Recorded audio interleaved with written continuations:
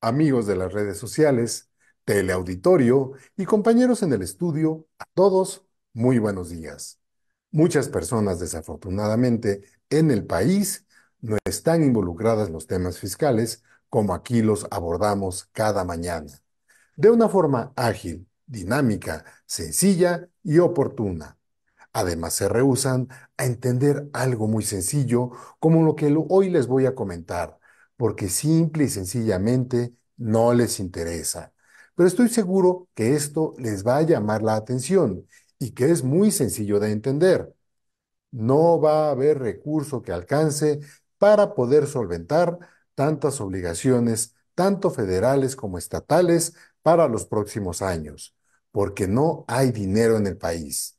Todo lo que se ejerció en gasto social y se gasta en pagar lo que se inició en el sexenio anterior no se llama inversión, sumando a todos estos gastos capricho como los que ya sabemos que no están dejando utilidad alguna. Simple y sencillamente, a esto se le llama gasto.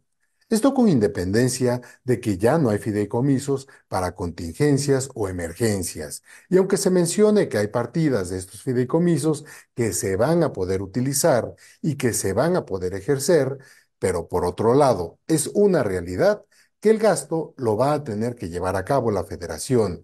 Y si lo lleva a cabo la federación, nosotros somos los que contribuimos a la federación, de acuerdo a lo que se menciona en nuestra Constitución, en su artículo 31, fracción cuarta.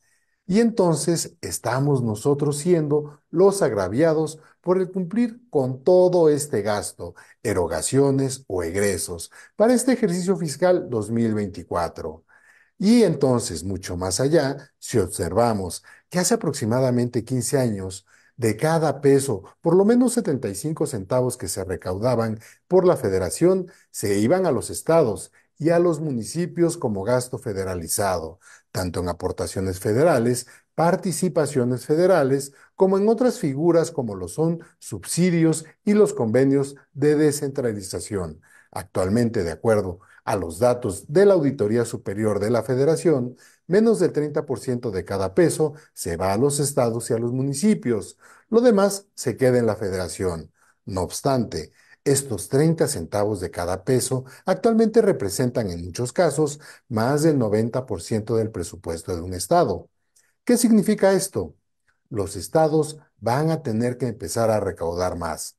No solo la federación va a tener que endurecer sus políticas tanto de facultades de comprobación y fiscalización, y además direccionarlas mejor, e incluso utilizar también mejor sus facultades de gestión, sino que hemos visto que a lo largo de los últimos años, y vamos a contemplar todavía aún más, que durante este ejercicio fiscal seguramente habrá un endurecimiento en cuanto a las políticas recaudatorias de las entidades federativas y los municipios.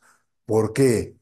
Porque los recursos federales que les están entregando han disminuido y disminuyeron este año, pero las necesidades siguen creciendo y esto les va a generar la necesidad de tener recursos propios.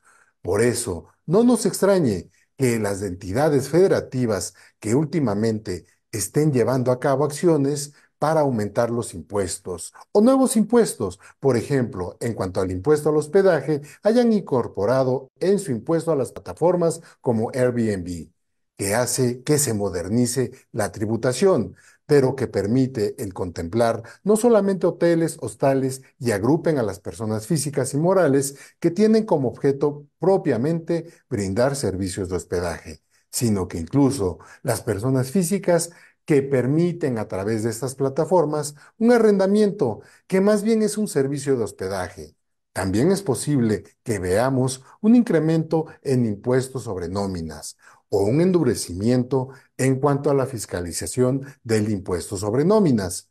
No perdamos de vista que de acuerdo al Banco Interamericano de Desarrollo, los dos principales impuestos por, por los que recaudan las entidades federativas son justamente estos dos, el impuesto sobre nóminas y el impuesto sobre el hospedaje, sin olvidar mencionar el impuesto ecológico o al medio ambiente, que ya se está cobrando en algunos estados, así que prepárese a pagar nuevos impuestos a falta del recurso federal. Y no olvide, no hay nuevos impuestos. Y les faltó decir federales, porque estatales ya están naciendo. Por hoy es todo. Agradezco su atención. Su amigo Sergio Sánchez se despide.